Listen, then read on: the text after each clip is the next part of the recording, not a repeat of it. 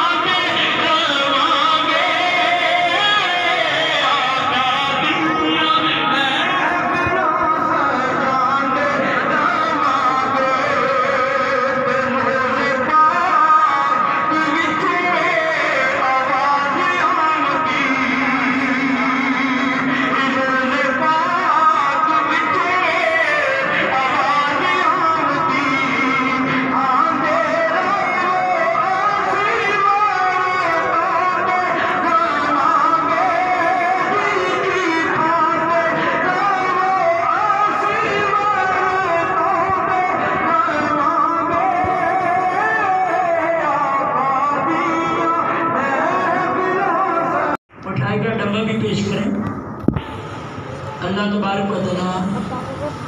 मोहम्मद अनवर साहब को मस्जिद के पक्के नमाजी खिदमतकार ऐसे एक मस्जिद में जिस चीज़ की भी कमी होती है अलहमदिल्ला भी पूरी करते हैं।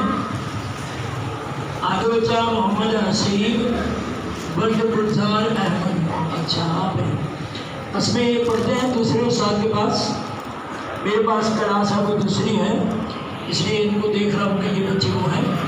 आगे जनाब मैं बुला रहा हूँ मोहम्मद नवाज़ जट साहब को। कि आए, मोहम्मद नवाज़ जट।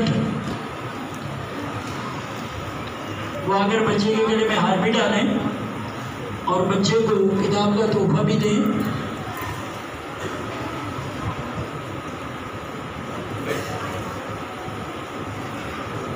अल्लाह तबारक वाली इन बच्चों को इस तरह कुरान करीम का शौक, इनका सलामत रहे। मंजरें पढ़ते रहें।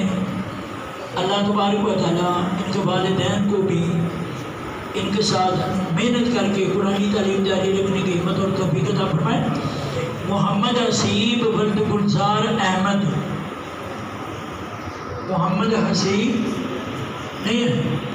अच्छा ये अच्छा जी, मोहम्मद इकबाल, वल्द मोहम्मद इकबाल।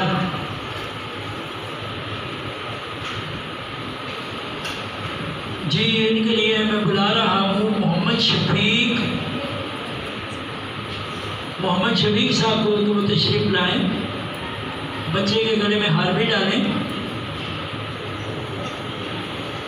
और किताब का तोहफा भी दें।